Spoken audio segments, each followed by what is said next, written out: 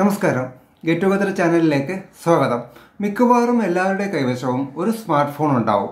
മാത്രമല്ല ഇന്റർനെറ്റ് കണക്ഷനും ഉണ്ടാവും.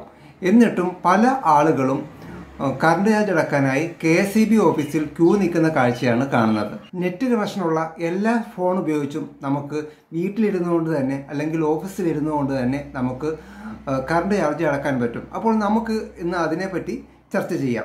അത് എങ്ങനെയാണ് കറണ്ട് ചാർജ് അടക്കുന്നത് എന്നുള്ളത് ലൈവായിട്ട് കാണാം. നമുക്ക് ആരംഭിക്കാം. ആദ്യമേ മൊബൈൽ ഫോണിൽ പ്ലേ സ്റ്റോർ എടുക്കുക.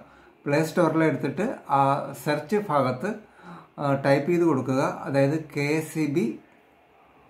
ഓൺലൈൻ ബിൽ പേയ്മെന്റ് എന്ന് ടൈപ്പ് ചെയ്യുക.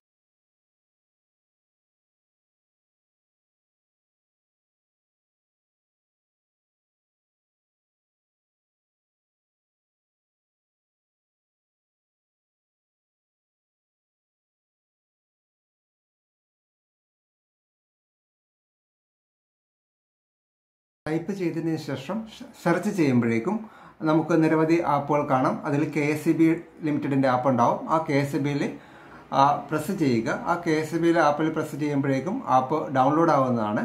ഒരു നാല് അഞ്ച് സെക്കൻഡുകൾ മതിയാവും. നാലഞ്ച് സെക്കൻഡുകൾ കൊണ്ട് തന്നെ ഡൗൺലോഡ് ആവും. ഇപ്പോൾ ഡൗൺലോഡായി കഴിഞ്ഞു. ഇപ്പോൾ ആ ഡൗൺലോഡ് ഡൗൺലോഡ് ചെയ്ത ആപ്പ് ഇൻസ്റ്റാളേഷൻ നടന്നുകൊണ്ടിരിക്കുകയാണ്. ഒരു മൂന്നോ നാലോ സെക്കൻഡുകൾ മതി ആ ആപ്പ് ഇൻസ്റ്റാളേഷൻ പൂർത്തിയാകുന്നതാണ്. ഇൻസ്റ്റാളേഷൻ പൂർത്തിയായതിനു ശേഷം അതിന്റെ താഴെ ഓപ്പൺ ബട്ടൺ ഉണ്ടാവും ക്യാൻസൽ ബട്ടൺ ഉണ്ടാവും. അതിൽ ഓപ്പൺ എന്ന് എഴുതി ഭ- എന്ന ബട്ടണിൽ ആ പച്ച കളർ കാണാം. അതിൽ പ്രസ് ചെയ്യുക. അതിൽ പ്രസ് ചെയ്ത് കഴിയുമ്പോഴേക്കും അടുത്ത വിൻഡോ വരുന്നതാണ്. ആ വിൻഡോയിൽ യൂസർ ഐ ഡി കാണാം പാസ്വേഡ് കാണാം ലോഗിൻ ചെയ്യാം. നമുക്ക് ഒരെണ്ണം പുതിയതായി ക്രിയേറ്റ് ചെയ്തിട്ട് നമുക്ക് ബില്ല് പേ ചെയ്യാം. നമുക്ക് അതിന്റെ ഒന്നും ആവശ്യമില്ല. ഏറ്റവും താഴെ ക്വിക്ക് പേ എന്ന് പറഞ്ഞ കളറിൽ ബ്ലൂ കളറിലെ ബട്ടൺ കാണാം. ആ ക്വിക്ക് ബേയിൽ പ്രസ് ചെയ്യുമ്പോഴേക്കും നമുക്ക് അടുത്ത വിൻഡോ വരും. ആ വിൻഡോയിൽ നമ്മുടെ മൊബൈൽ നമ്പറാണ് ടൈപ്പ് ചെയ്ത് കൊടുക്കേണ്ടത്. നമ്മുടെ മൊബൈൽ നമ്പർ ടൈപ്പ് ചെയ്തതിന് ശേഷം അതിൽ കൺസ്യൂമർ നമ്പറുണ്ട് ആ കൺസ്യൂമർ നമ്പർ നമ്മൾ ടൈപ്പ് ചെയ്ത് കൊടുക്കുക. കൺസ്യൂമർ നമ്പർ നമ്മുടെ കെ എസ് ബിയിൽ നിന്ന് ബിൽ മീറ്റർ റീഡർ തന്ന ആ ബില്ലിലുണ്ടാവും. അത് കൃത്യമായിട്ട് ടൈപ്പ് ചെയ്യുക. അതിനുശേഷം അതിന് ഇമെയിൽ ഐ ഡി ആണ്. ഇമെയിൽ ഐ ഡി നിർബന്ധമല്ല. ഇമെയിൽ ഐ ഡി ടൈപ്പ് ചെയ്തതിലും കുഴപ്പമില്ല. അതിനുശേഷം സെർച്ച് കൊടുക്കുക. സെർച്ച് കൊടുക്കാൻ നേരത്ത് നമ്മുടെ മൊബൈലിലേക്ക് ഒരു ഒ ടി പി വരുന്നതാണ്. ഒ ടി പി വരുന്നതിന് വേണ്ടിയിട്ട് ഒരു രണ്ട് മൂന്ന് സെക്കൻഡുകൾ നമുക്ക് വെയിറ്റ് ചെയ്യാം. ഇപ്പോൾ ഒ ടി പി വന്നിട്ടുണ്ട്. നമ്മുടെ മൊബൈലിൽ വന്നിരിക്കുന്ന ആ ഒ ടി പി കൃത്യമായി തെറ്റാതെ ടൈപ്പ് ചെയ്ത് കൊടുക്കുക.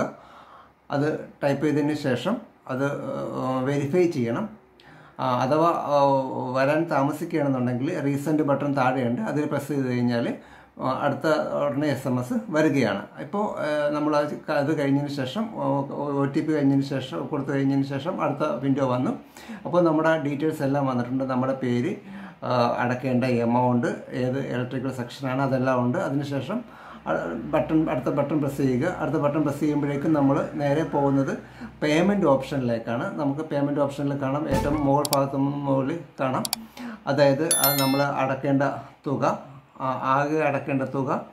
പിന്നെ നമ്മുടെ കൺസ്യൂമർ നമ്പർ ഉണ്ടാവും. പിന്നെ ഏതൊക്കെ മോഡിൽ നമുക്ക് പേയ്മെന്റ് നടത്താമെന്നുള്ളതുകൊണ്ട് നമുക്ക് ക്രെഡിറ്റ് കാർഡ് ഉപയോഗിച്ച് ചെയ്യാം ഡെബിറ്റ് കാർഡ് ഉപയോഗിച്ച് ചെയ്യാം നെറ്റ് ബാങ്കിങ് ഉണ്ട്. യു പി ഐ കോഡ് വെച്ച് ചെയ്യാം. ഞാൻ ഉപയോഗിക്കുന്നത് നെറ്റ് ബാങ്കിങ് ആണ്.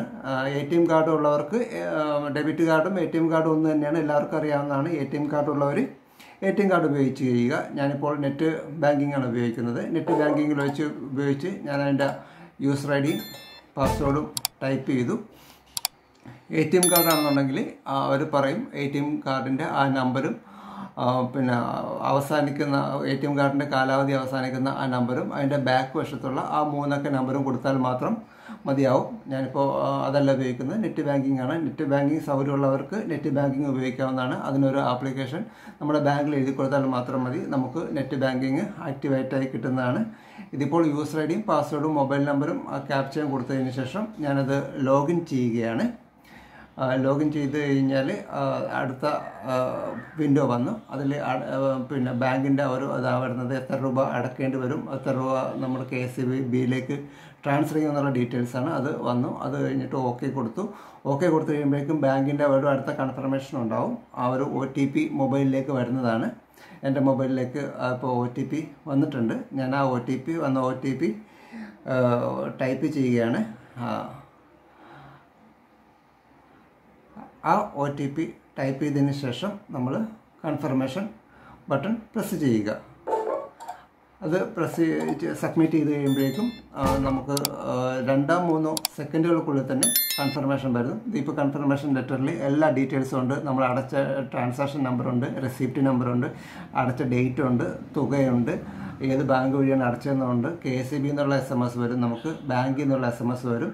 ഇപ്പോൾ ഈ കാണുന്ന ആ പ്രിന്റും നമുക്ക് കയ്യിലുണ്ട്. അപ്പോൾ എല്ലാവർക്കും ഇത് പ്രയോജനപ്പെട്ടു എന്ന് കരുതുന്നു. ചാനൽ ഇതുവരെ സബ്സ്ക്രൈബ് ചെയ്തില്ല എന്നുണ്ടെങ്കിൽ ഒന്ന് സബ്സ്ക്രൈബ് ചെയ്യുക. അതോടൊപ്പം തന്നെ തൊട്ടടുത്തുള്ള ആ ബെൽ ബട്ടൺ പ്രസ് ചെയ്ത് ഓൾ പൊസിഷനിലേക്ക് മാറ്റുക. എന്നാൽ മാത്രമേ ഇതുപോലുള്ള വിജ്ഞാനപ്രദമായ വീഡിയോകൾ ചെയ്യുമ്പോൾ തന്നെ നമ്മുടെ മൊബൈലിലേക്ക് ഒരു നോട്ടിഫിക്കേഷനായി വരികയുള്ളൂ. ഇതുവരെ എന്നെ ശ്രമിച്ച എല്ലാവർക്കും നന്ദി.